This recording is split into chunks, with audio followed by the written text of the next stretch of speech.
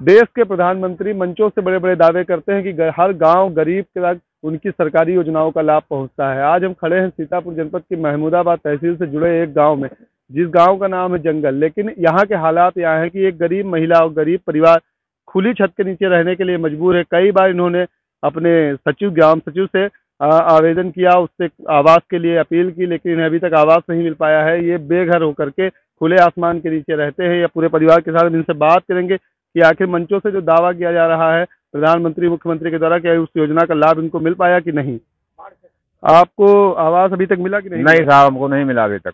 आपने सेक्रेटरी से एक बार भी कहा? एक ने बीस मतलब सेक्रेटरी से कहा प्रधान जी से कहा हर आदमी से मतलब कहा मतलब जो कोई सुनवाई नहीं हुई तो हमने चुपाई मार के बैठ गए भाई। आप यहाँ कैसे ऐसे रह रहे हैं? इतना ठंडा हो रहा है। मतलब यहाँ पे मतलब अभी अभी यहाँ पे उतारे हैं त्रिपाल त्रिपाल नीचे रह रहे थे इस अभी खटिया पल का इसी अभी उठा के ले गए हैं। कितने लोगों का परिवार है? हमारा परिवार है ग्यारह लोगों का। तो ग्यारह लोग इसी तरह रह रहे हैं? नहीं अब ग्यारह ही छप्पा छानी सब गिर गए हैं साहब तो मान लीजिए छप्पा छानी के नीचे रही है तो अभी बाढ़ थी तो कैसे जीवन कटा? बाढ़ कटी तो साहब मैदान में जीवन कटा तिरपाल तान के रहे यहाँ।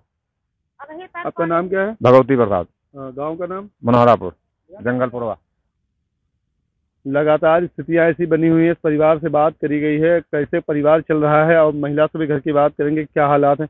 कैसे आप घर में ऐसे गुजारा कर रही हैं? तो भैया कहा करी? कैसे मजबूरी में करे थे और कैसे? अगर पानी बरस जाता है तो खाना कैसे बनाती हैं? खाना यह तेल बनाए थे जब निकल जाते तो देखो चूल्हा वगैरह सब रखा। सरकार के लोग तो कह रहे हैं सबको आवास दे दिया है। हमका नहीं मिली है।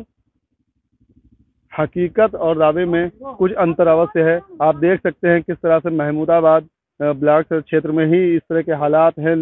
खुले आसमान